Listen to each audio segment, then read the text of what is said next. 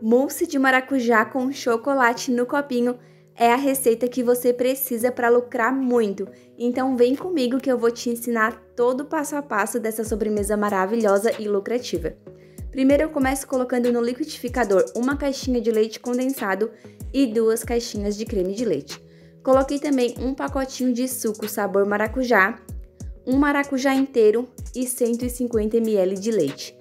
Vou bater por uns dois minutinhos mais ou menos. E se você gosta desse tipo de vídeo, já se inscreve aqui no canal, curte o vídeo e deixa um comentário, isso me ajuda muito. E ficou nessa consistência, olha que consistência maravilhosa, gente, fica bem cremoso e fica uma delícia. Tô usando esses copinhos, eles são de 180 ml, porém existe também menores. Esse aqui, por exemplo, é de 145 ml, então vocês têm que ver certinho o que mais se adequa para vocês poderem vender, tá? Aqui eu vou pesar para vocês verem as quantidades certinho. Eu coloco 10 gramas de maracujá no fundo e 100 gramas de mousse nesse copinho. Então, se vocês forem fazer no copinho menor, vocês podem também diminuir a quantidade, mas é bom padronizar, né, o mesmo peso para todos os copinhos. E assim vocês vão fazendo em todos, né? Vai colocando ali o maracujá, vai colocando mousse e depois ainda tem a parte que eu vou colocar o chocolate, que é a ganache. Olha de pertinho, gente, a cremosidade desse mousse. E quando vai para a geladeira, ele vai ficar um pouquinho mais firme ainda. Então, assim, fica maravilhoso. Esse azedinho do maracujá junto com esse mousse e junto com o chocolate. Sério, gente, assim, não tem nem o que falar, é muito bom. Aqui eu fiz um exemplo também nesse copinho menor, para vocês verem que também fica bem bonitinho. Então, vocês têm que ir na loja de confeitaria ou onde vocês forem comprar os copinhos e ver qual vocês preferem. Existem, assim, milhares de copinhos diferentes, então vocês podem escolher o que vocês mais gostarem ou o que for mais em conta. Vocês é quem decidem, tá? Aqui eu já montei todos os copinhos, né? Eu já enchi todos os copinhos e vou deixar na geladeira para eu poder fazer a ganache.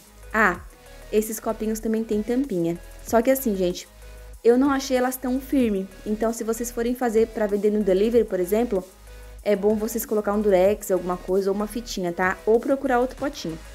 Aqui eu tô usando duas barrinhas de chocolate, um chocolate ao leite e um meio amargo. Mas assim, eu usei e ainda sobrou, então se vocês quiserem fazer só 150 gramas de chocolate também dá. Tô usando chocolate puro, que é o chocolate nobre, tá?